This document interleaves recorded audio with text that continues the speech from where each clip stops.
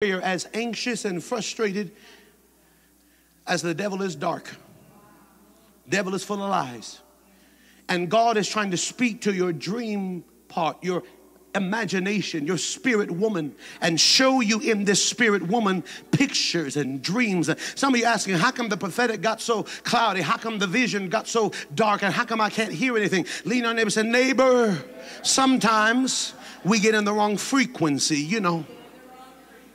You know, there's something called a radio, and it's not used that often. They've got now satellite radio, and either way, it works the same way. There are invisible words, invisible sounds traveling through the air. They are projected into the air by a, a, a, a, a either a uh, DJ or a radio station, and they shoot it out of that tower. And the more high powered the tower, they send these words and these sounds invisibly into the air. And if you in your car or you have a boombox or have some type of receiver, you can receive those signals signals and have an amplifier and power and have, have a speakers tied up. And now you can hear those invisible sounds miles and even tens of miles, even hundreds of miles away, depending on how powerful it is. But you've got to be tied to the right channel, the right frequency, the right number.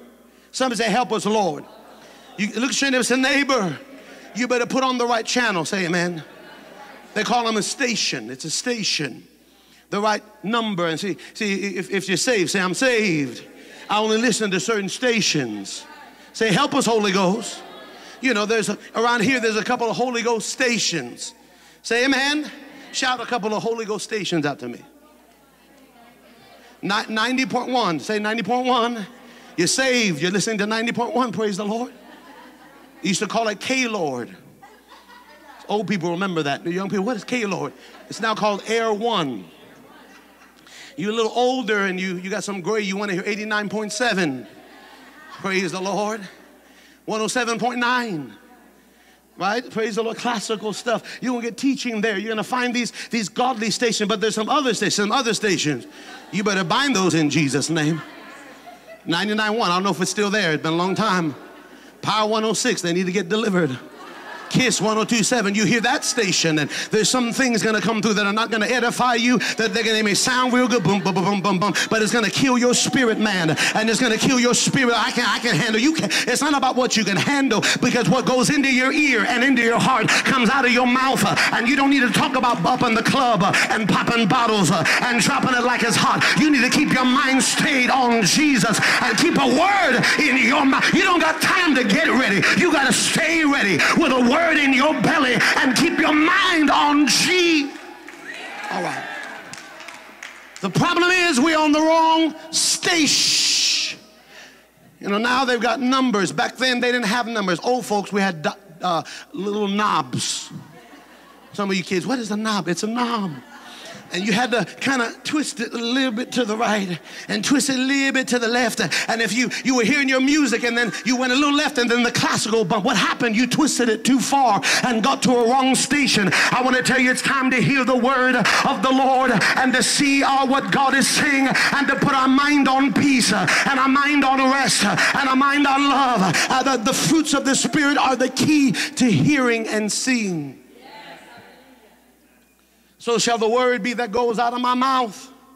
It shall not return to me, but it will accomplish what I please, and it will prosper in the thing that I sent it. So God on his throne is transmitting words to you and I. So he says, Church, he that has an a receiver, let him, these are not your spiritual ears. Can you hear what the Lord is saying? Do you have an ear? So the word will go forth from his mouth, but the word will not void. So the word must be returned. Luke James said, neighbor, return to sender. So I hear the word, I hear the word from God, then I do what? Send it back. And when I send the word back, it doesn't return void, but it begins to accomplish what he pleases and it prospers in the thing that he sent. Repeat after me. Say, I got to hear the word. then I've got to say the word. I've got to say the thing. The key to ascension is learning to say what God is saying when He's saying it. To open your mouth, and I know you're mad and you're tired and you're upset, but bless Him anyway. Make a decision like David I will bless the Lord, all my soul, and everything that's within me. I will bless the Lord at all times, and His praise shall continually be in my mouth because what comes out of your mouth will manifest in your life. Ephesians 4, verse 8 says that He said, Wherefore He said, when He ascended on high, He led captivity captive and gave gifts to men. This is found, this is a quotation, Psalm 68, verse 18. The psalmist wrote this, and Paul, the New Testament writer, is quoting, Thou hast ascended on high. Say high. He's elevated, he's climbed, he's propelled. Thou hast led captivity captive, and you receive gifts from men. Repeat after me, say, Lord, give me power to ascend. Ephesians chapter 2, verse 5 and 6 says, You are already seated in heavenly places. And when Jesus rose on the third day, he rose with power. Said power. Then he came into the earth. He showed himself in the earth. John chapter 20 tells us that he appeared at the grave of, uh, of the tomb while he was on his way up. He told Mary, his worshiper, Don't touch me. This is unusual. All through the New Testament, you could touch, you could feel. After he comes back later, he says, Feel me, Thomas, touch me and believe. Put your finger in my side. Put, put, your, put your finger in, my, in these holes in my hands and only be faithful, not doubting. Somebody say, I'm not going to doubt. I'm going to believe. But John chapter number 20, verse 17, Jesus appeared and said to Mary, Do not touch me for I've not yet ascended to my Father. So he rose from the grave, but had not yet ascended from the earth before the Father and put his blood on the mercy seat. So he could not be touched yet. Repeat after me. Say, God says the devil can't touch this. Just tell him. Push your neighbor say, The devil can't touch this. I, I declare there's a purity and there's a power and there's a potency about to come on your life. Uh, and what the enemy was trying to touch with infirmity and touch with weariness, it's coming off of you. This thing has to come under the blood because God is about to raise you up and bring you to a place in the spirit realm where you're going to go in and help many people that have been broken. You see, you're not going into that place for you, you're going into that place for many around you that are broken, that are wounded, uh, that are hurting. Uh, See, when you get in, you're not just going to get in to get in. After you get in, you will lead captivity captive. That means what was holding you, you're about to help other people. What was stopping you, you're about to free other people. What was hurting you is now under your power, and you're coming back to bankrupt hell. See, Jesus is a high priest after the order of Melchizedek. Say, Jesus Hebrew says is our high priest. What does the high priest do? He does what? He intercedes. What does he do once a year on the Day of Atonement? He goes into the covered from head to toe with what? Blood. Center in his hand, worship. Worship. And goes in with blood. Blood and worship and he goes behind the veil to the glory. And there he applies on the mercy seat what? Blood. For who? For number one for him. Then for the that's what that is about. Getting in there is about the course of nations. You listening? You listening? Getting into this place with God going before the throne to put blood on the seat to do worship, to offer the incense at the golden altar. There are two altars the bronze altar, the gold altar. The bronze altar is for sacrifice and for change and for transformation, for justification. But the golden altar is for worship and worship alone. You only put sweet smelling savor on that altar, and that altar is the entry point into the Holy of Holies. It's right at the bridge between the holy place and the most holy. And once a year, the, the high priest will go in, covered from head to toe with blood, with the censer, waving worship before the Lord and putting blood on that mercy seat, blood on that place, so that the sins of the people will be covered for a year. Say amen. amen. Now, God invites you and I into the holies of holies. Unheard of. How is it possible that Hebrews says we have access with boldness into the holies of all? Because you now can go in for them. I, I know, I know. It's hard to believe that you are being invited into the holy place that you are being invited to, to do business in that secret place. See, Jesus is about to go up to you. Don't, don't, touch me. Verse, no, go back to 20, verse 17. He said, Don't touch me. I have not yet ascended to my Father. I've not yet ascended to my Father. You can't touch me, but go and tell my brethren. The first place Jesus ever calls his disciples brethren is here. They are students, they are friends, they are, they are disciples, but the first place he ever calls them peers is here because he's about to make atonement and he's about to invite them into the brethrenhood, the, the brotherhood. Say amen. Go and tell my brethren, say unto them, I ascend to my. Now he goes there to put his blood on the mercy seat. Say amen. He goes there to make a way into the holies of. I go to prepare a place for now I go to my Father, but now I go to. Now I go to my God, but now I go to.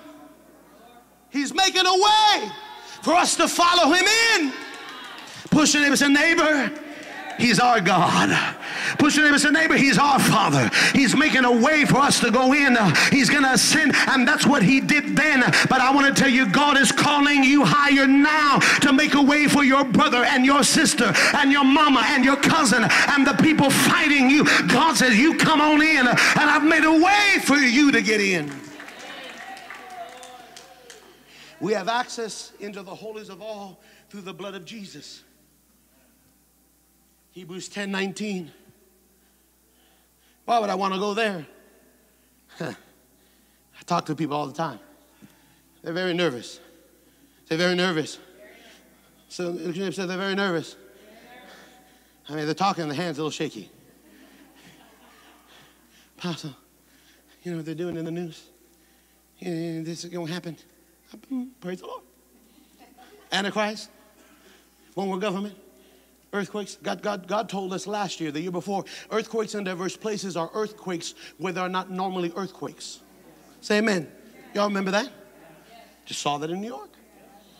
You know, eh, California, it ain't no, ain't no end, end time miracle if it happens in California, praise the Lord. We ride 5.0s, amen. We learn to ride them, praise the, praise the Lord, like we surfing. You got to be 7.0 to get us nervous, praise God. They're over there scared and praying to go to heaven, but praise God, we'll pray for our New Yorker friends, okay?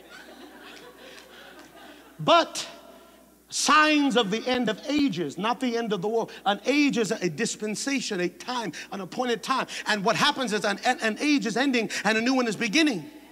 You listening to me? Now things are going to happen. Antichrist is going to rise. They're going to try and attack us. They're going to open up borders. They're going to, they're going to release sickness on us. They're going to do pandemics. They're going to release famines. We know the people in high places are not fearing God. They don't care about us. They don't love us. These are high spiritual wickedness in high places, principalities and powers, and spiritual darkness that we are wrestling with. Push your neighbor, say, I'm wrestling with principalities and powers and wickedness in high places. These are governmental terms. These are not just heavenly heavenly terms. There are forces and exousias that want to mandate things that are wicked. But when I get into that holy place, uh, when I go into the realm of the Spirit and I meet with God, every devil has to bow. Every demon has to bow. If I can get in to this place with God, God will spare the nation. Are you hearing me? There are things coming now on the calendar now. Terrorist attacks planned now. Famines planned now. Riots planned now. Happens to be an election year. What happened in 2024? The devil wants to happen now. But look, Jim, a neighbor. I'm not just sitting around. I'm going into the presence of my God. I'm going into the presence of my Father. And when I get into the holies of holies uh, and I put blood on that altar and I lay my sacrifice, uh, then I can see salvation on the whole nation. Having therefore boldness, brothers, who? Brethren, to enter to where? The holies of all by the blood of, you can go boldly to the throne of to obtain help.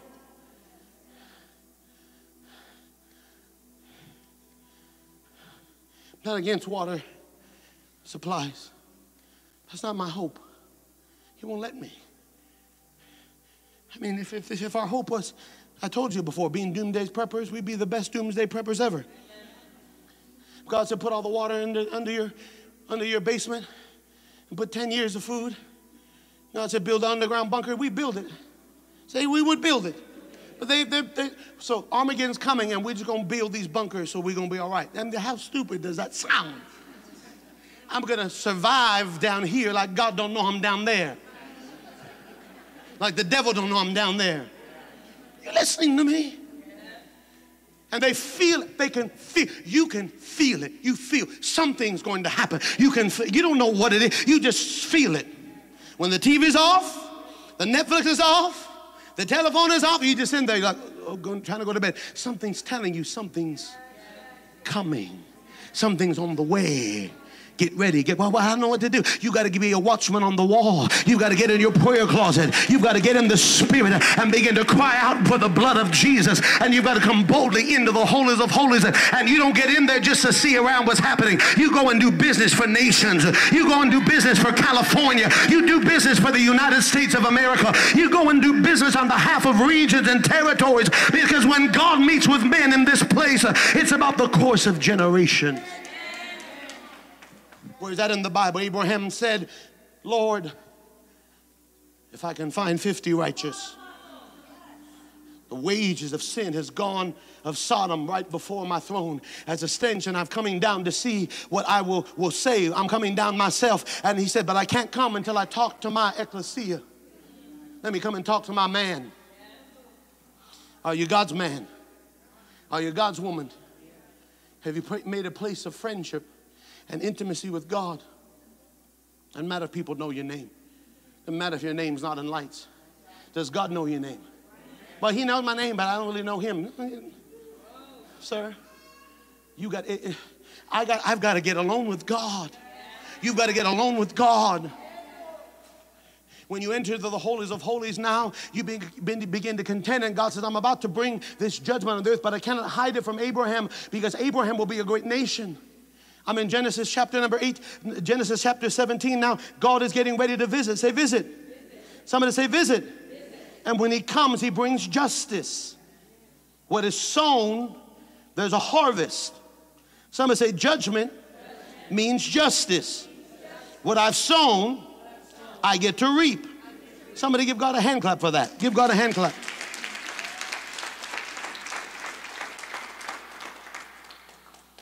Justice. God wants to bring justice. The Bible says, God said, Can I hide from my friend Abraham what I'm about to do? God could not hide. Genesis 18, 17, can I hide from Abraham the thing that I'm about to do?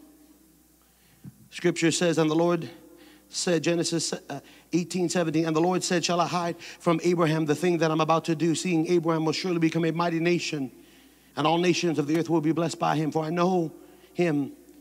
Wait, wait, wait. All right, read it again. Verse 17. The, the Lord said, Shall I hide from Abraham the thing that I'm about to do? So God's about to come down to where? Where? Earth. And who's he going to visit? All right, but before, so he, he needs to talk with Abraham, but what city is he about to visit? Sodom and What has gone before the Lord? Their sin. And make no mistake, even in the New Testament, this still happens. It doesn't change just because we're under grace now. The wages of sin is still in the New Testament book of Revelation, when the bowls of wrath get so full, it's poured out and judgment hits the earth. When the bowls of the prayers of the saints get full, the, the, the bowls are poured out and revival hits the earth. Somebody say, Are we praying? Are we calling out to the Lord?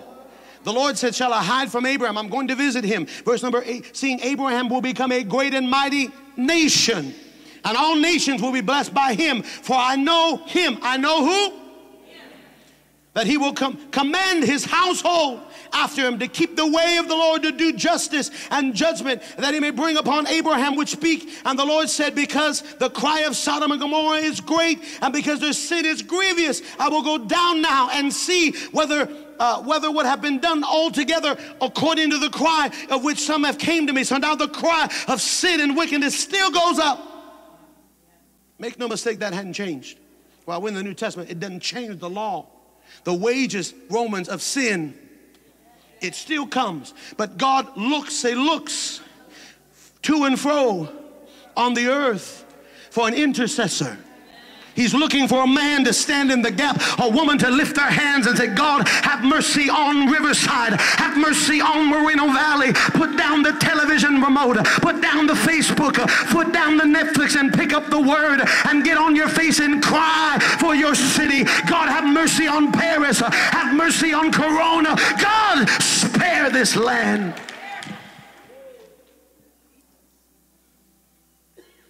Abraham drew near so will you destroy the righteous? Verse 23. Abraham drew near.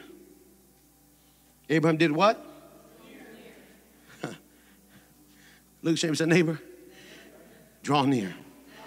Now there's some smart folks in the room. Say amen. You were kids before, and you, you, you wanted something you knew your parents were probably going to say no, so you had to butter them up. Say amen. Some of you husbands and wives still use that trick. Praise the Lord. Best you when you're close, when your eye is on Him and you're worshiping, you're seeking Him. You're the, you're the, we're the worst of us when we're far from God. Abraham drew close and said, Will you destroy the righteous with the wicked? Will you do this? Will you preadventure if there's 50 righteous in the city? Will you not destroy or spare the place for 50 righteous that are in? Verse 25, that be far from thee to do this manner and slay the righteous with the wicked, and the righteous with the wicked, that be far from thee, shall not the judge of the earth do what is right. And the Lord said, If I find in Sodom 50 righteous within the city, I will spare the whole city. Think about that. The privilege to stand in the gap for a city that should be destroyed you know, stuff going on in the earth, it, we should be destroyed. But God looks for a man or woman to stand. And we got to actually go into the holies, worship and encounter God. And like Esther went to the court of the king uninvited, she came in. And what did she go there for? Talk to me. Did she just say, I just feel like visiting the king? She didn't want to go. She said, I ain't going over there. I'm in the palace. Say amen. And then she said, Oh, you know, I was just playing, Mordecai. I just playing. Praise God. You know I was going to go anyway. Praise. Y'all fast three days. I'm going to fast three days with my handmaiden. And I'm going into where? To who? Come on. To intercede on behalf of a nation that was surely going to be destroyed reports going to be bombing. There are reports that, that ISIS and these, they're telling us, be careful tomorrow, be careful all week. And we have to be careful. We have to be careful. But how can you keep yourself? And we're praying for praying for border patrol and praying that they're where they need to be, where where we need to be, praying and fasting and crying out to God and saying, God, have mercy on our land. God says, I'll spare the city for 50. Say, amen. I'll spare the city. Verse 26 If I find 50 righteous within the city, I will spare the sake for 50. Abraham answered again, said, Behold, now take it upon me to speak to the Lord. I'm but dust and ashes, preadventure. We lack five of the 50 righteous. Will you not destroy the city if you lack five? He said, and he said, If I find 40 and five, I will not destroy it. Look at your neighbor. Now he's pushing it now. Now he's pushing it. You know? All right. Well, what, what, what if we're missing five, Lord? Uh, all right. So that's good. Praise the Lord. He keeps going. I mean, I mean, praise the Lord. I will not destroy it for 45. He said to him, Yet again, peradventure shall be 40 found. Will you not spare for 40? And he said to him, and he said, I will not do for 40. What about 30? What about 20? He just make, let's make a deal, Jesus. Come on. How about 10? And he stops at 10. What if he would have went to 5? Who knows? You understand this is why we must ascend. Not because you need a better car. God wants to give you a better car. Not because God wants to give you a big house and God wants to bless you with a house.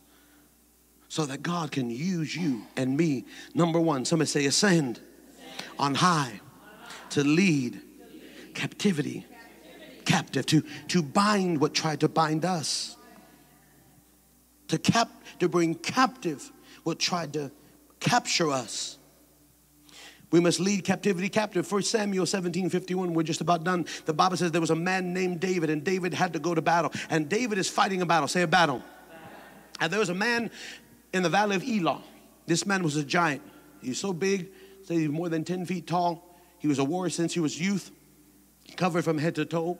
Only one place was penetrable or, or could be penetrated his, his mind. Everything else was covered, impenetrable, a warrior, indestructible. And the sight of this man made, made all of Israel's mighty men shrink and hide behind the rocks. The Bible says for 40 days and 40 nights he began in the morning and the evening taunt them, say, Where is your God? You got dressed up for battle? Send somebody to fight me. Come on. He just started punking them, started running his mouth and just saying, Where is the God of Israel? My God is bigger. And all these mighty men, they just stood there. Little David, 14 year old, 15 year old, they say, little boy came, he wasn't even invited to the battle. He came to deliver cheese and crackers. He, he's the delivery boy. He's not there to fight. He just hears this devil running his mouth. And he hears this. He said, who, who, who is this that is there speak against the armies of the living God? Who is this uncircumcised Philistine? They, be quiet. His brother said, Get out of here, be quiet, we know you. He said, No, no, no, no, no, no, no, we, we can't have this. And David said, I, I dealt with a lion, I dealt with a bear, and I'm gonna deal with this uncircumcised Philistine. And what does the man get that gets? He said, Well, you're gonna, you're gonna, you're gonna be, uh, uh, you're gonna be free from taxes, meaning that your your family will never pay taxes again, meaning everything against you, all your legal debt, all your, your attack of the, of the devil will be canceled. Say, canceled. Repeat after me, say, Me and my whole house are gonna be free. Number two, you're gonna marry the, the, the daughter of, of the king. You're gonna marry Michal and you'll be a prince in the kingdom. He said, That sounds good to me. He goes and tells the king, I defeated the lion and the bear. I'm going to take care of this guy. And the Bible says that, uh, that Saul tries to put his armor on him, says, I can't use that armor. It's untested. He goes to battle. And there he stands in the valley of Elah with a sling and a rock, a rag and a rock, fighting this 10 foot killing machine. The Bible says that, that, that, that a man had to carry a shield. So big this shield was that a man had to carry the weaver's beam, which is so many feet long, an impenetrable spear covered from head to toe. And he mocked mocked him and ridiculed him and said, Who am I that you send a dog to me? But here is the, the key to the victory. He said, If we, if I beat you, you will be our slaves, and if you beat me, we will be your slaves. Remember, God said this to me. It goes, in the end, it comes down to man to man, woman to woman. He told Gideon, You defeated these army of Midianites as one man. In the, in the end, if nobody goes with you, nobody will agree with you, nobody will stand with you, nobody will pray with you, look at and say, neighbor, this is man to man. This is woman to woman. I'm going to take this devil's head off. Uh, and after I take this devil's head off, my nation will be free. My family will be free. My parents will be free. My mom and dad will be. I'm not just fighting for me. I'm fighting for a generation. It's man to man. It's woman to man. You're going to fight this devil. And if you win, you're going to see the spoils of this victory. And the Bible says he took this rock uh, and he flung this rock into the head of Goliath and it sunk in, meaning he put a word in his his mouth and spoke a word to disarm this principality. He fell, but when he ran upon the devil, Luke Chambers I'm about to run. 1 Samuel 17 51 says, After he struck him in the head, after the word, the smooth stone, your word, your grace, your living stone must smooth in the river. It penetrated and it sunk in. Therefore, David ran and stood upon the Philistine. Repeat after me, say, I'm going to stand over what was standing over me. It was a picture of a giant that had fallen. Now, David is standing over what stood over him. This is a picture of leading captivity captive. He took the sword of the Philistine and drew it out of the sheath thereof and saw, slew him, and cut off the head therewith.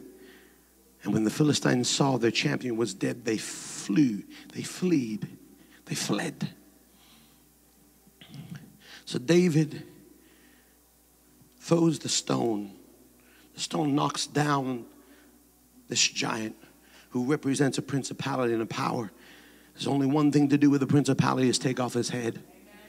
But David had no sword, so David takes the sword of Goliath and cuts Goliath's head off with his own sword.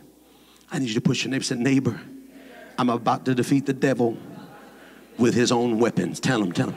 I'm about to turn this on the devil that what was trying to kill me is going to kill him. What was meant to design to take me out, I'm going to take him out with. What was designed to hold me back is going to help me out. What was designed to bring me backward is going to boost me forward. I don't know who this is for, but you're dealing with something that feels life threatening in your life. God said, Don't you be afraid. The God who is with you never sleeps or slumbered. You're not coming with flesh and blood, but you are coming in the name of the Lord of hosts. They come with swords swords and spears, but God is on your side. And after you make him fall and you stand over him, don't leave him alive. Don't let him come back. Take the head off of this giant and cause the victory of God to release the spoils. We don't know what David did with this. All we know, it says he carried the head back to the city. All we know. But we do know some hundreds of years in the future that a man named Jesus walks up a mountain and this mountain was called Golgotha, the place of the skull. I believe that David took this head as an offering and laid it in the very place Jesus was crucified. Therefore, he's called the Son of David. And he prepared in the past what God will do in the future. This is the power of your grace, the power of you leading captivity captive. Just about done. Revelation 3:21 says, "When you overcome, the place you overcome will become a throne." Say a throne. A throne. To him that overcomes, say overcome. I don't like it. I don't like the testing. I don't like the proving. I don't like the trials. I don't like when the enemy's prodding me and pushing me and trying to tempt me to do this and trying to push me to step out of the will of God. I don't like when things arise in my home, in my family, and in my, in my finances to try and push me outside of the will of God. But there must be tempering before there's approval.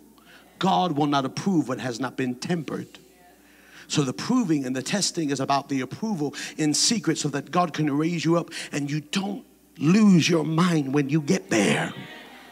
God does not approve what has not been tested. You don't take an untested weapon into battle. It's never, you've never shot that gun before. You don't take it into battle. You've got to go and get familiar with your sword. You've got to know, and you are an instrument. And if you will overcome, not undercome, not around come, if you will overcome, if you will deal with you, deal with me, deal with my emotion, because the truth of it is, it's not the people around me. It's nothing. There's nothing people can do to make me stop what I'm believing God. Ain't nothing my family can do, ain't nothing the past can do, ain't nothing the haters can do, ain't nothing the devil can do. It's inside of me. I'm got God in me. And if I hold to the promise of God, nothing will stop the promise of God on my life.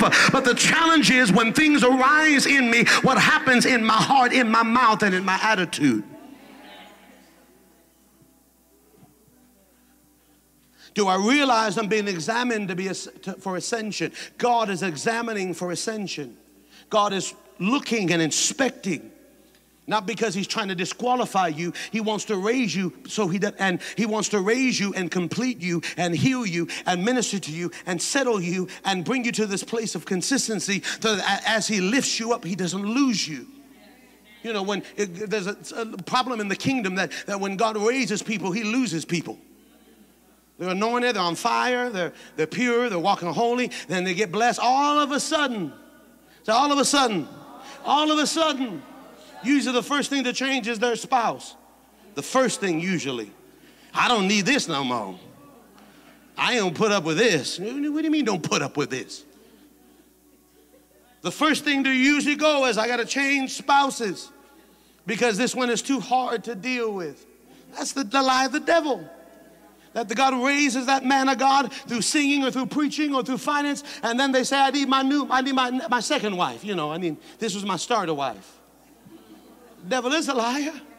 God said, I begin to rebuke those that were priests that put away the wife of their youth. Malachi, God was angry. God was angry with the priests because they were putting away the wife of their youth. They, they had not understood the power of being a covenant man. The power, put, lift your hand, say, in the name of Jesus, uh, I declare God is going to heal marriages uh, and going to heal houses uh, and families. I'm not going to even as I have overcome and have sat down in my father's throne. I don't know what you are to overcome. I don't know the details of your own walk. We all have something we're trying to deal with. We all have something we're trying to battle with. We don't, I don't know what it is. But I know for you and for me it's different, but I know they have some similarities. It's trying to kill us. Whatever it is, is what you told yourself you would never do. Whatever it is you promised yourself you would never, you vowed to yourself you would never go through this, and there you find yourself having to do the thing you told yourself you would never do for the sake of God. How it works. He loves you and He's chosen you, but He's building you. You are His workmanship. Say, overcome. Got to conclude now, but Ephesians chapter 4, verse 9 says, Ascension follows dissension. Ascended follows descended. Up comes after down. Got a half an amen to the right. I said up follows. I don't want to be to rule. Sometimes, most of the times, you become a captive there. The captivity the bondage, the trial. Uh, don't, don't, don't, don't let nobody know your business. Amen. What are you fighting that's not letting go? Well, you keep anointing with oil and it, the devil gets meaner. You're slinging all that oil, and nothing happened yet. Speaking in tongues loud, and ain't leaving. Shatatan, it ain't, ain't moving. That, it's a strong the more you pray, the more you cry out, the more it just seems to just not want to move.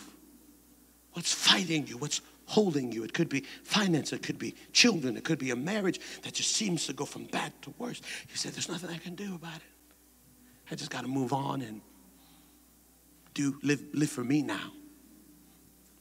You just got to live for you now. Just got to do it on my own.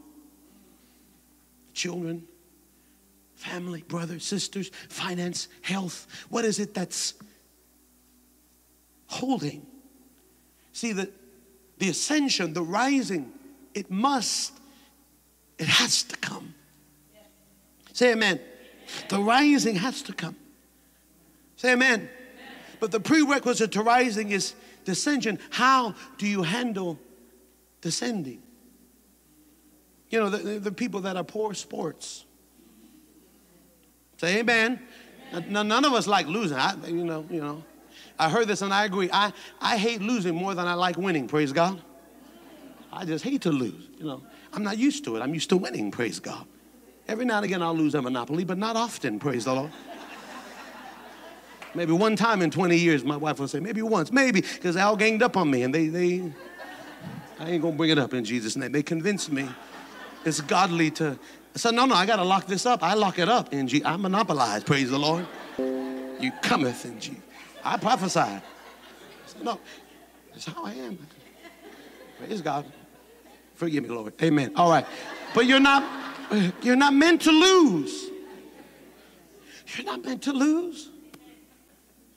But how do you handle the cross though you're not losing, you're in the middle of what looks like loss. And now they say he could heal others, but he can't heal himself. And you know, you know, you know, if you really God come off the cross and those moments of, of allowing, it says that he humbled himself and became obedient to the point of dying. To us, death is final, but God said death ain't final. In order for me to defeat death, I've got to submit to death so that I can rule death. And I'm going to defeat the one that had power over death. But I, this is a part of the process. The part of the process is it feels like loss. It feels like like you're losing. But you you see, the challenge is realizing what you're seeing is not the end of the thing.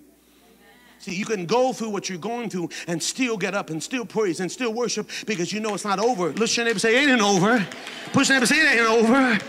God said there's a bounce back coming, there's a restoration coming, and I've got to learn how to wait for the nations to call me. I couldn't wait for God to use me. Then now you're here, you're like, Lord, I, I wish I was just back where I was, praise the Lord.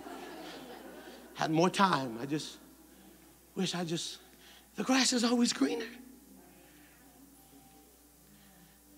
And while I couldn't wait internally, and I wanted it so badly, and now the Lord said, Why do you want it? And then I began to want it because I wanted His will, not because I wanted to show the people that I wasn't crazy. There's a lot of people say, You crazy, apostle. Or pastor, brother, family member, you just crazy.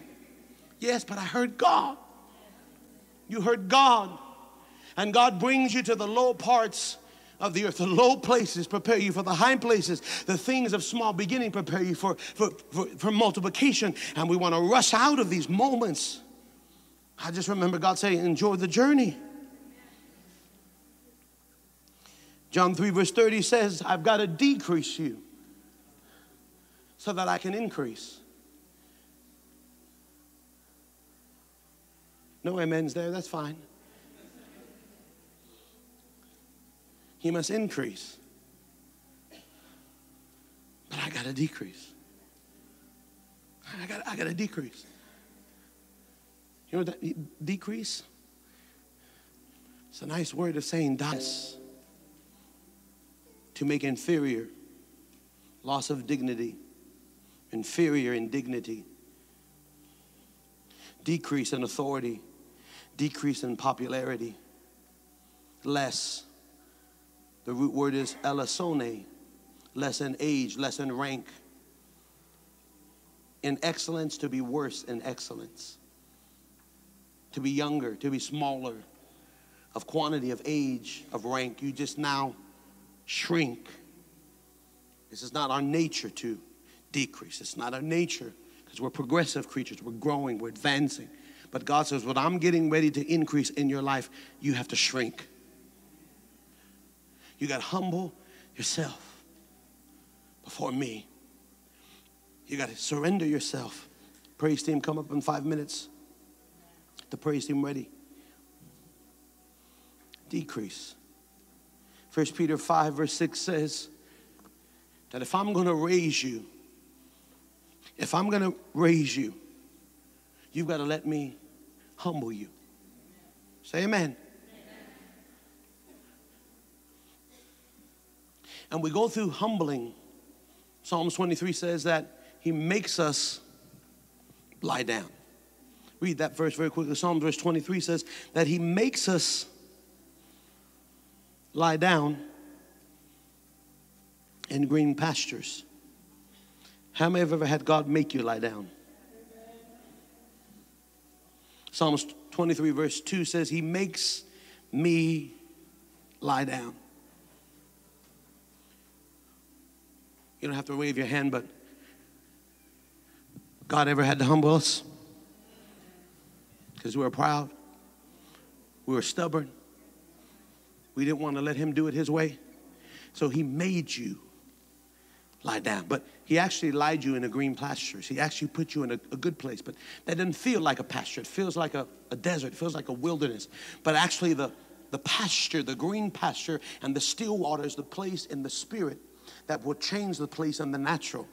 So there's a spiritual place that God is trying to get you to to change your external place. There's an external place that doesn't look like your promise. God's not concerned about that. What he's looking at Sometimes we get in this wilderness of heart, this wilderness of soul, this wilderness of attitude, this wilderness, this descended place, and we stay broken inside and eternally. And God says, I've got to, I've got to sit you down, I've got to make you lie down. And then, say, then I learn the art of humbling myself. After God makes you sit, I'm, we can say this because baby's still a little small. Got a 21 year old, say, Help him, Jesus. Got a two year old, say, Help him, Lord. They're all spread out, praise God. The two year old Zoe does not want to use the potty. Say, Help us, Lord. She'll just sit there. Go, mm-mm. mm-mm. So we'll even give her cartoons. Say, just sit there, baby, and go and come on now. Time should catch up with you. No, an hour, she's just there 30 minutes. So we have to make her sit down. We have to make her sit. We have to take her from her duties, and we're trying to train her. We're trying to wean her off of this, and we just got off the bottle a little bit ago. Now she got the pacifier. Say the pacifier. She goes, Mommy, I need pacifier. And she calls it the white. Say the white. That's her favorite, the white. There's a blue and there's a red, but she wants the white. Give me the white. I want the white one. That's my favorite. Praise the Lord.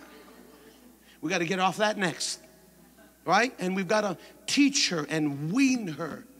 And we've got to sit her down and we've got to remove this from her. It's not that we enjoy her to cry or she's not uncomfortable. It's a part of her growth. And as a baby, we've got to mold her and sculpt her and see what's coming and, and make her do these things. And she doesn't want to not potty in the diaper. But she got to grow up. So every morning we got to sit there, okay, come, come on and sit down. I think she's done it once or twice, and then we clap and we all celebrate. Pray. but after a while, God makes you and makes you. Then He leaves you to yourself. Then, say then, then, then, I'm done now. Make your way, praise Him. 1 Peter 5, 6. Then, now, we learn. Now, 1 Peter tells us, then we learn. Say, then we learn. 1 Peter 5, verse 6. Then we learn. Then we learn. 1 Peter 5, 6 says, then we learn to humble. We do what? We learn to descend. Then we finally realize wait a minute now, if I descend, then I'm going to. Some people won't, won't learn it. They're just fighting it. You just holding out. And you're not maybe descending, you're not ascending, you're just right there. Humble yourself. Bring yourself low. Humble your. This is what men and women in the kingdom do, not children. Children don't humble themselves. Children are always right. They took my toy. This is morning. Nora was fighting Zoe. My toy. She got what's mine, and I got what's hers, and they're crying and they're fighting. We're trying to go to church, fighting about a Barbie on the way to church. So all the kids are trying to bring peace, and they don't know how to bring peace. But we're trying to teach them. Don't, don't get stirred up. They're throwing a tantrum, Dad. We, we're never allowed to throw tantrums. I know, we're working through it. Amen. they lose their peace. I'm like, look, calm down in Jesus' name. Let's. Children do not humble themselves. They always have to be made to humble themselves. They always have to be made to sit, made to wait, made to learn. Say please, say thank you. And you just, when is God going to take the pacifier out our mouth? When can God say, okay, now it's time you were, I dealt with you as children, but now I'm going to deal with you as men and women of God. I gave you milk, but I want to give you meat. I want to give you mature and I want to give you grace and power. I need to raise you, but I need to know that you've learned how to humble yourself under the mighty hand of God. Say, the hand of God. It means the authority, the power. And there is authority in heaven. Say, Amen. There's an authority in heaven, and that's easy. I should be easy. I know it's not easy because, you know, when, when you're going through stuff, sometimes it's hard to humble yourself. You know, you're mad at them and you want to stay mad at them, so you go, uh, I ain't gonna pray today because I want to stay mad. Because you know, once you get in the presence, He's gonna, he gonna make you forgive. You say, I don't want to forgive now because he may, she may act up again. Hmm, I ain't praying tonight because I'm, don't touch me. You don't touch me. Amen. But first it's God, humble yourself before God. Then there's something called authority in the earth. There's God ordained authority. And not every authority is not from God. I know there are crazy ones. I know there are ones that want this, and know there's a lot of stuff happening. It's crazy. But there are God ordained authority in the earth. I got five of you. Say, no, no, no, no. It's me and the Lord, and I'm just free. Praise the Lord. You free. Just keep your freedom. You ain't going nowhere, but you're free. Just tumbleweed free. 10 years just walking in your freedom. You should be there. Those free birds, those ones that ain't no, there ain't no pastors anymore. The, the church age is over. They don't call you pastor nobody. Your name is Tom or Nathan. They don't call you pastor nobody. Just you're Nathaniel. Praise the Lord. Don't believe in authority, don't believe in submission, don't believe in church because they were hurt with church, and I understand that. But there's an authority somewhere you must submit to. I said, There's an authority. So if this isn't it, praise the Lord. But there's somebody somewhere on this earth that God says you need to submit to. And until you submit under that hand of authority, God will never raise you.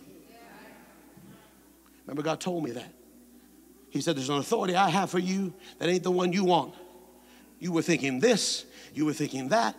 25, God sent me down, said, Go back home, sit under the authority I have for you. Leave a mega ministry, leave thousands of members, leave opportunity to travel on planes and behind TBN and go sit under God ordained authority. Not that that authority was wrong, but it wasn't for me at that time. It wasn't what I needed. So leave this, leave that, and go back and sit. I'll never submit to anybody. Then you'll never be a part of the army. You'll, uh, listen to me. Not even because you're a part of, even if you have another place, find where God assigns you. And there is a place for you. So I, I can't find it. I'm searching. So, uh, so then now begin to fast and pray. Say, Lord, show me where. And God will show it to you. Sometimes we're in transition. Sometimes we're looking for the place, but keep your heart open. Don't let the offense and the wound and the, and the mis- manipulation and the wound of the past contaminate the future God has for you. Because God knows the hearts of the people. Humble yourself before the mighty hand of God. We know this. Say the hand of God. We heard it before. Say the hand of God. Say the hand of God. Apostles, prophets, evangelists, teachers, hand of God. It's an earthly office. Somewhere there's a place for you. Somewhere there's a place. Not me. Yes, you. Somewhere. It may not doesn't have to be here. But there's a place for you that the key to your next is finding that spot. When you do this, it won't always feel good. It won't always feel the way you want.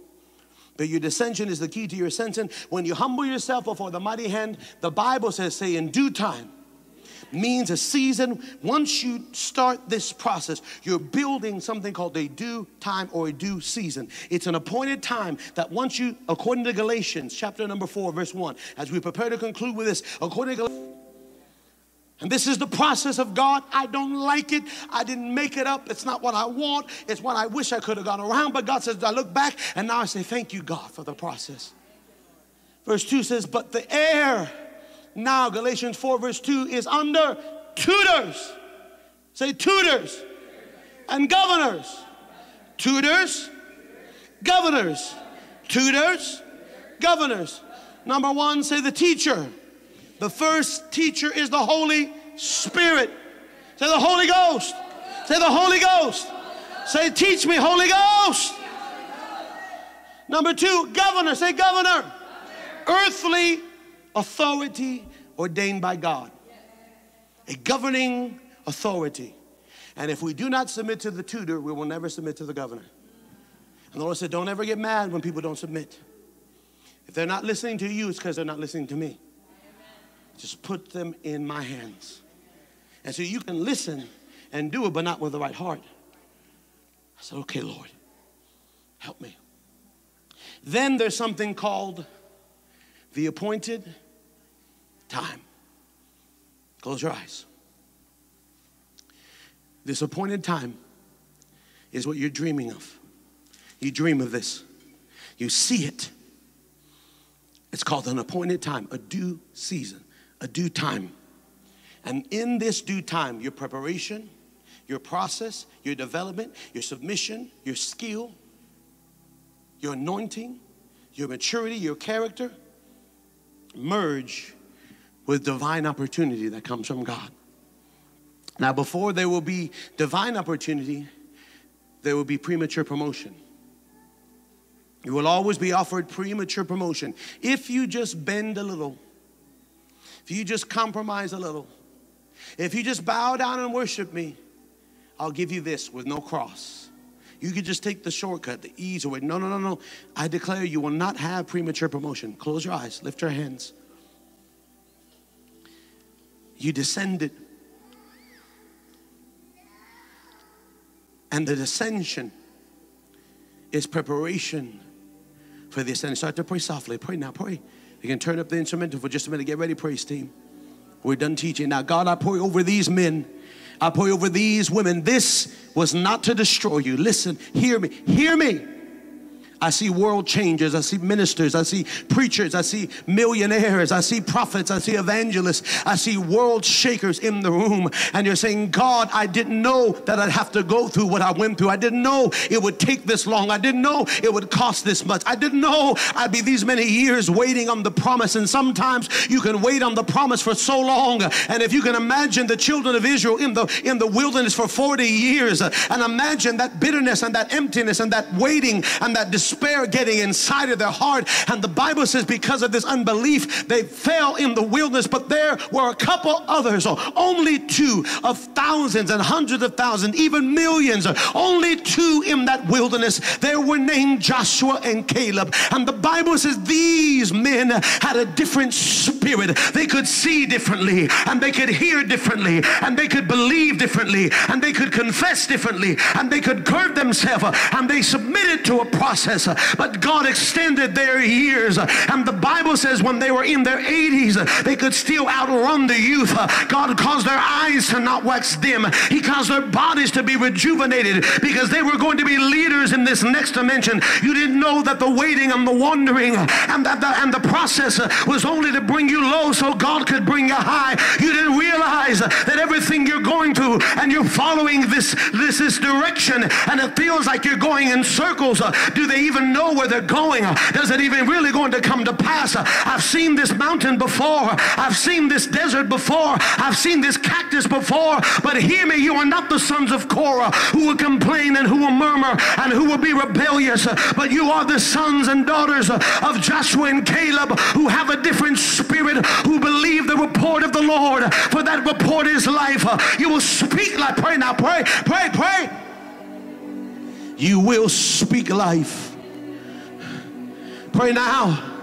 You will go into the land of flowing milk and honey. You will step into your due season when your preparation and your process and your development and your character and your integrity, but also your skill and your anointing, uh, your confluence uh, will produce favor and power, and that will meet your due season. And when this due season comes, uh, no devil will be able to stop you, no demon will be able to hold you, no power will be able to hold you back. God will raise you up front of your enemies. Pray now.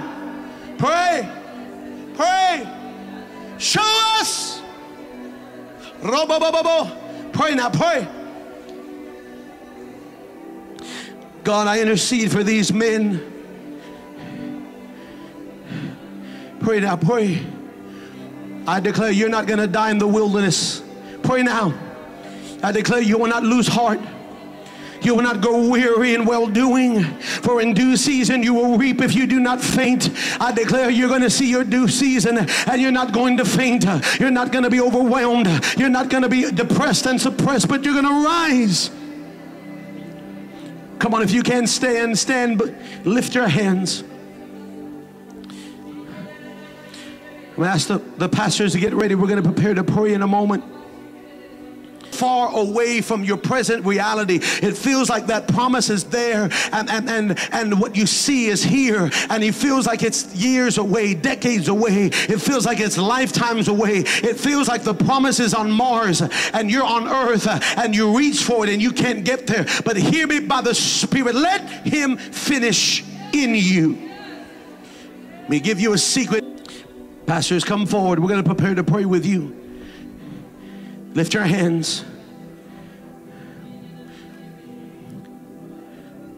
Now I declare these men and women of God are not normal men. I'm not talking to normal believers. I'm talking to sons and daughters of God. I'm talking to world changers. I'm talking to kings and priests. I'm talking to leaders. I'm talking to entrepreneurs. Yeah, go ahead, worship team. They can lift that sound. I'm talking to entrepreneurs. I'm talking to business owners. I'm talking to shakers of nations. I'm talking to Esthers who will stand in the gap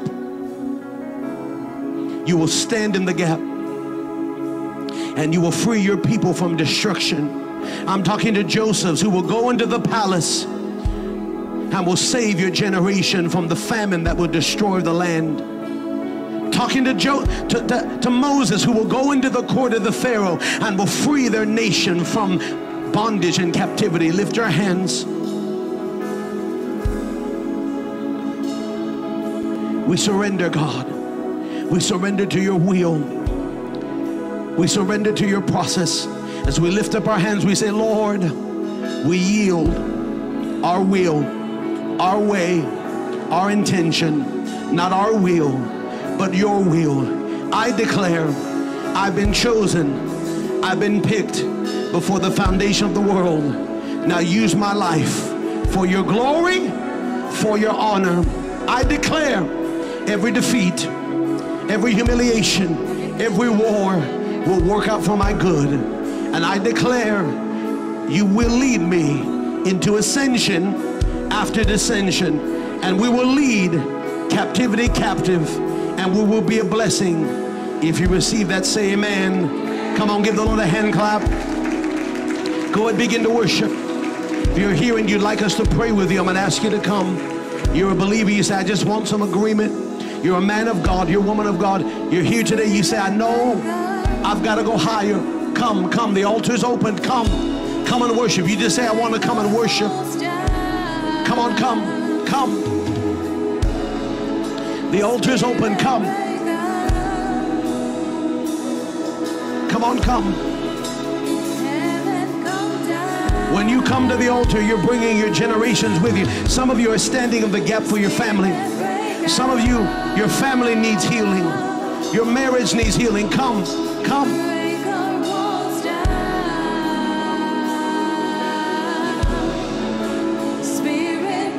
Go and pastors begin to lay hands on the people. Begin to minister.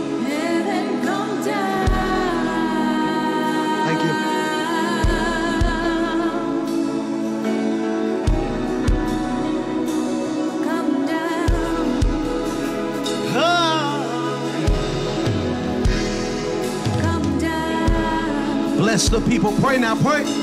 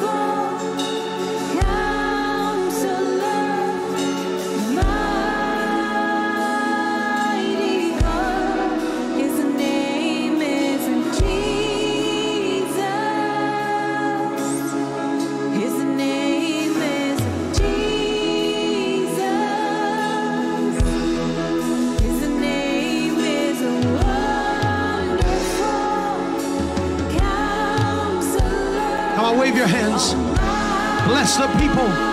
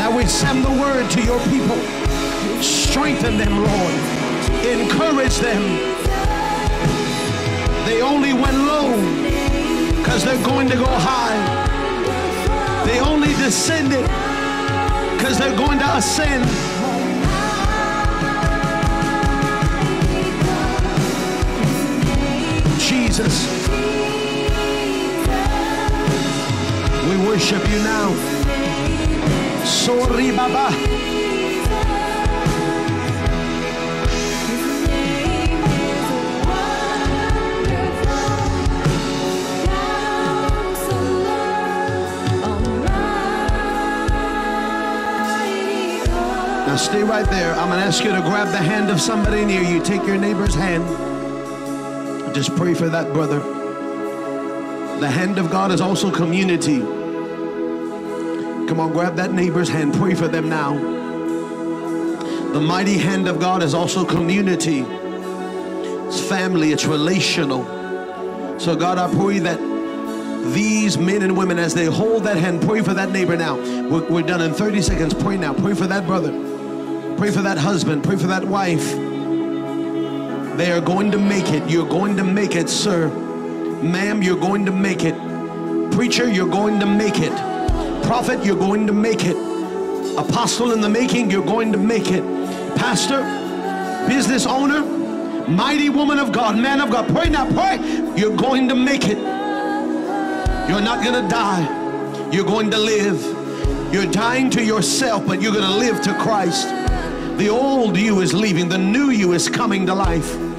Oh, you only went low because God. Pray now, pray. 20 more seconds, pray. Strengthen them now.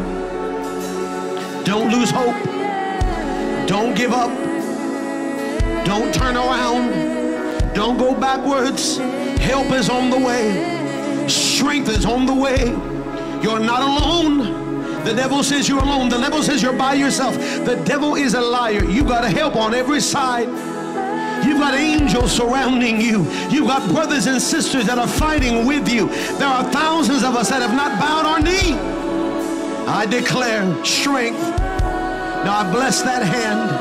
I bless that life. And I pray you release courage. You release boldness. And you release strength for they're going to see your blessing. Now repeat after me. Say, Heavenly Father, I decree your word is settled in heaven. Now I decree on earth, let your promise be seen in my life. I decree I descended so you will raise me up for your glory and for your honor. I humble myself before your hand that you would get glory, you will get honor through me and my family. I decree it now in Jesus' name. Somebody shout amen. Shout hallelujah. Give the Lord a good hand clap. High five about three people and tell them you're going to ascend. Give them a high five as they go back. You're going to rise up. You're going to elevate. He's not leaving you where you are, but help is coming.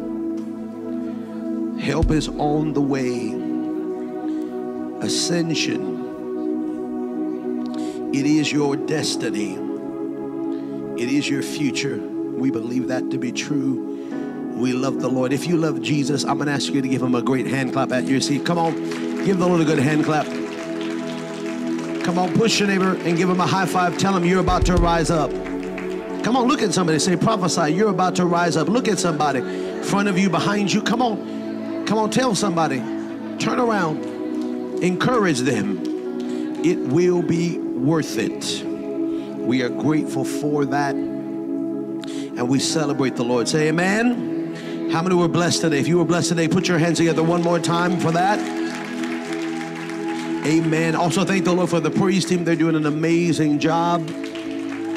All right, now, every first Sunday of the month is, they can just lower the volume just a little bit for us. Every first, the perfect sound there though. Uh, every first Sunday of the month is our first fruits. Somebody shout first fruits. And we're going to put up Proverbs chapter 3, verses 8 and 9. And once a month, we come before the Lord and we ask God to increase us. Say, increase. Now, I want you to tell your neighbor, say, neighbor, I declare you are going to increase, then what you have is going to increase. I said it before, it is wrong to ask God, uh, to ask God, Proverbs chapter 3, verses 8 and 9. It is wrong to ask God to increase what we have before we increase in maturity. We must, say, we must increase. Go to verse 9. Proverbs 3, verse 9 says that there is an honor and there is a regard. Here's what Proverbs 3 9 says We're to honor the Lord with our substance. Touch somebody say, My substance isn't just my money, it's your time, it's your health, it's your everything you are.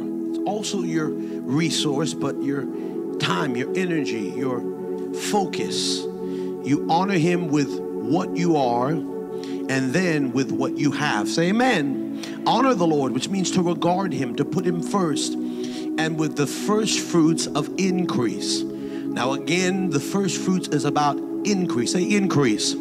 How many know you need to multiply? I said, How many know that? Character, patience, love. I'm going to say that I, I need to increase in the fruits of the Spirit.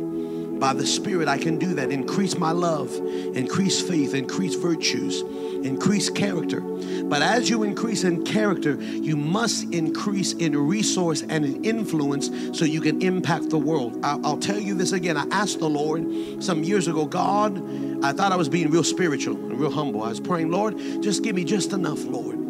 I prayed that prayer. God, just give me just enough. And I felt a, a, a, a, slight rebuke and say, He said, Son, if I just give you enough for you, what about the children that are hungry? If I give you just enough for your family, what about the widow and the orphan? Look at your name and say, Your cup can't be full. It must. What's overflow for? To be a blessing. I'm going to encourage you. God wants to bless you, to make you a blessing. And this act of first fruits, there's four giving in the Bible. Tithing is the Lord's. It's the is the Hebrew word tenth. It was before the Old Testament. It was before the law was ever given, the tithe was offered from Abraham to Melchizedek. And the Bible says in the New Testament, we are covenant men and women after that covenant and that priesthood of Melchizedek. The offering is the sacrificial gift, the alm is the charitable gift. The word alm means you give to charity for need. But the last is the first fruit, and the first fruit is about increase. Shout increase. Verse number 10 says that when you do this, you can expect, verse number 10, Proverbs 3, verse 10 says that now your barns shall be filled with plenty. Somebody say plenty. Now I'll say this again. It's it doesn't help us to prosper financially if we're not prospering emotionally, maritally. How many know there's some things money can't buy? Money can't buy health. Money can't buy peace. All the money in the world can't buy a, a unified home. So I want to declare that God is going to make your storehouse overflow. Say overflow with money and what money can't buy healing and peace and joy. That your presses will burst with new wine. Now, remember, God spoke to us uh, uh, last month, and the Lord said, The key to you growing and accelerating and not forgetting about God, repeat after me say, New wine. Every new dimension will release new oil and new wine. If you get to a new dimension and don't have new wine or new oil, you're going to forget about God. I'd rather stay where I am than go forward and forget about God. I don't want to promote if I'm going to promote and forget about God. Say amen. There's a new wine, a new oil, a new capacity. Here also is uh, the scripture. The scripture tells us that Jesus, say Jesus, somebody say Jesus is my first fruit. First Corinthians 15 20. I have just a little less volume, just a little less. Thank you so much. 1 Corinthians 15 20, here's what it says that Jesus is, but now Christ is risen from the dead and become the first fruits of them that slept.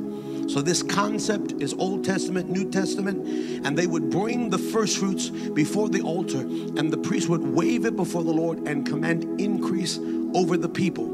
That's what we're going to do in just a few moments. We're going to dismiss and we're going to come and bring our tithe and offering down to the center, but there'll be a line right to my right, and people are going to come and I'm going to ask you to pray about what your first fruit is. Because how many know it's time to increase? I got five. I said, How many know you got to increase spiritually, emotionally, maritally? And this act of worship is an act of faith. Do you have to? No. We don't give you amounts. You can do that. God can give an amount. God will show you what to do. But let me encourage you it's a sacrificial gift. It's not a normal seed, it's an act of love. And when you worship, God responds. Anytime, anywhere in the Bible, God was going to meet with man, they brought sacrifice. Say amen. When you want to talk to God, you you worship and you fast and you pray. That's sacrifice. The word offering means sacrifice. When I sacrifice from my heart, God meets me in my prayer, in my fasting, in my worship, but also an act of giving is an act of worship. Close your eyes. So, Lord, I pray over these that are going to release something called the first fruits of increase. These men need to increase. These women need to increase. I need to increase. As we lay our first fruits on the altar, as we return the tithe. And again, if you're a part of another church, hold that tithe for your local church. If you have a church, hold it. If you don't have one, we can receive that tithe. You don't pay it, you return it. It is the Lord's. The tithe is the Lord's. You return that. But God, as we lay today a seed of increase, increase these men. Give them inventions, give them ideas, give them creativity, give them anointing for business, entrepreneurship. Lift your hands, bless the work of their hands. God, even as they're working, let them be promoted to receive more wage and less time. Free their time. Make them heads and not tails. Make them lenders and not borrowers. I command the open heaven over their life so they can free their time and they can pursue their calling in you. I declare the spirit of mammon come under the authority of entrepreneurship, that they are anointed to create, that this spirit of mammon must bow and they can be free to serve you with all of their might. And they can give to the widow, they can give to the orphan. I pray blessing that there's not room enough to receive. And I also declare a due season on their life, a season of dew, a season of open heaven. Let it come to them, let it multiply. This I pray in Jesus' name. Give God a good hand clap right there. Give him a good hand clap. If you're in need of an envelope, you can wave your hand. There's two envelopes. There's a general offering envelope that's for your tithe, that's for your offering. There's a second envelope just on the first Sunday of the month. It's a first fruit. Ask them for a first fruit. And you can put Proverbs chapter 3, verses 9 and 10 on that envelope. We're going to pray that God increase you spiritually, mentally, emotionally, and naturally. These are all a part of what we believe wholeness is. So we're going to worship the Lord, and after you're ready, the first fruit givers are going to line up to the right here. And I'm going to receive you and pray with you, speak a word. I'm going to wave that before the Lord. I'm going to lay it on the altar. I'm going to believe God to add increase. Shout increase and those that are giving in the middle. After you've given, we're going to dismiss. This is a little bit different of a of a protocol for our dismissal because we want to make sure we have plenty of time to pray over the first fruit givers. Say amen. So there's different ways you can give. They're going to put up those options on the screen. There's an app or there's a barcode on your envelope. You can give via PayPal there. Uh, they're putting up the giving options in just a moment. Uh, you can Zelle uh, to the number 951 235 3360. If you're Zelling, please take an envelope, fill it out so we can keep a clear record of your gift.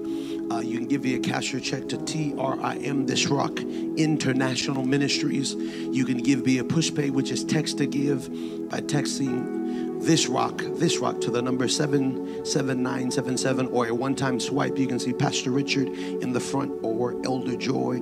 Somebody say, I love to worship. Somebody say, I love to worship. We love to worship in spirit and in truth, and giving is an act of worship. We believe that with all of our heart, and so we do it reverently. We don't give haphazardly, we give from joy. We give from gratitude. We give as unto the Lord, for the Lord loves a cheerful giver. It is an act of worship. And we love to sing, we love to shout, we love to preach, we love to lay hands, but we also love to give. It is a part of our worship to the Lord, and we do it wholeheartedly. Say amen. amen. All right, as you're giving, those watching online, I'm going to make one announcement, one or two, and then we're going to dismiss. Uh, somebody say raising the altar. How many are praying for a raising the altar? What is, give God a hand clap for that, raising the altar. Next week, we will be in San Diego. Last month, we were in Florida. Um, God has moved mightily. Last year, we were in London and in South Africa, and we are raising altars around the world for Jesus. Amen. How many are praying for us? I said, How many are praying for raising the altar? How many partners are in the room? Give God a hand. Make some noise, partners. God bless all of our partners. We will be having our partner Zoom, private Zoom next week. And I'm going to be taking your prayer requests with us to San Diego. I'm going to be praying for you if you're interested in finding out how you can be a partner with Raising the Altar. See Pastor Richard. We'll get that email. But next week, uh, that will be April the 12th, Friday and April the 13th, Saturday, we'll be raising the altar with our good friend Apostle Rocky Martinez. Thank the Lord for Apostle. Amen. Come on, how many appreciate Apostle? How many like San Diego? I like San Diego. Praise the Lord. One day get a house there, praise God. In San Diego, the weather's beautiful. We'll be enjoying the presence Friday night. Prophet Robert Rush will be re- raising the altar. Give God a hand clap for Prophet Rush. Saturday at 10 a.m., we will have some breakout sessions and we're going to be talking about the next generation. Psalms 24, verse 6, the generation that will seek the face of God, but also find out their identity. Saturday morning, then Saturday evening, Apostle Fred Hodge. Give God a hand up for Apostle Fred Hodge. Going to be phenomenal. And then all of the saints are coming back uh, that are part of this rock and then uh, Sunday, we'll be right back here. Give God a hand clap for Apostle Kim Gaskin. Give God a hand clap for Apostle Kim. So he'll be here. They have some kind of flyer somewhere, but they'll be he'll be here next week, right here at 12 noon, uh, here to stand in our stead as we conclude the raising of the altar. We're believing God for a tremendous outpouring, but registration is free. You can be a part of that, and we're asking God to just be glorified. Let's get ready to dismiss those watching. Let's stretch our hands toward those watching online. Lord, I pray over those under the sound of my voice, whatever nation they're in. They watch from the Netherlands, they watch from Pakistan, they're watching from UK, they're watching from South Africa, Zimbabwe, they're watching around the world. Wherever they are, whatever they need, be that answer. I ask you to heal, I ask you to deliver, I ask you to save. I pray you open up doors no one can close. Feed the, the needy, Lord. Provide for the widow, the orphan, and that our brothers that are under persecution receive justice. Keep them now and raise us up as a force to be light in the darkness. I ask this now in Jesus' name. Give God a hand clap. Give God a good hand clap right there. All right. God bless you. We are dismissing on our online. I've got one or two quick in-house announcements before we give. You're going to be dismissed as soon as the